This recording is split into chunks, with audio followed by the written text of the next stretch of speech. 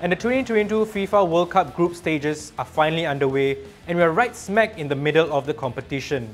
And while the players in Doha are on a quest to lift the World Cup trophy, there are plenty of others around the globe on a football quest of their own. And what is that? And that is to complete the 2022 FIFA World Cup album from Panini.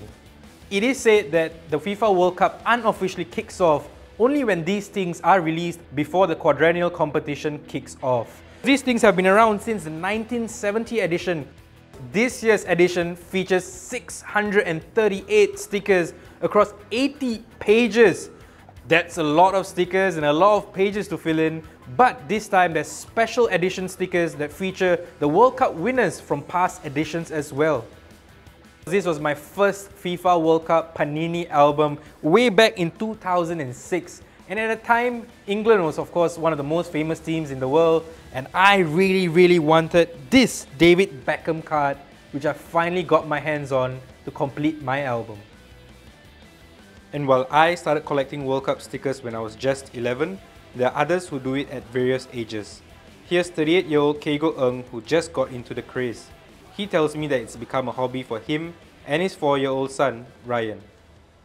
The very first sticker album uh, from Panini wasn't that far uh, ago. It was somewhere during the pandemic, I think 2020.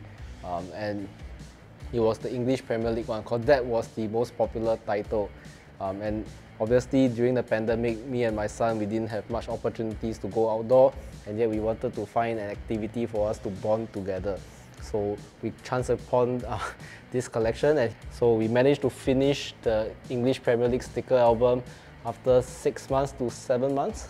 But afterwards, we knew that uh, we had to get into the World Cup because that was the biggest uh, sticker series and the most iconic one from Panini.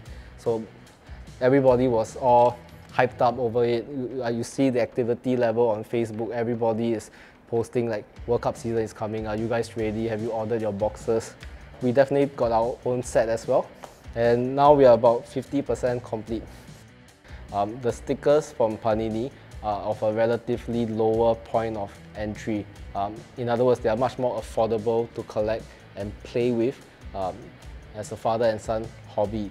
So I, I did this so that you know I can share a bit of my joy and passion for collecting and to complete all 638 stickers, most collectors resort to trading their duplicates online via Facebook or Carousell. And of course in Qatar for winning the FIFA World Cup, you get national pride and the coveted trophy. But what do you get for completing the album? Well, lesser money in your pockets, but plenty of memories.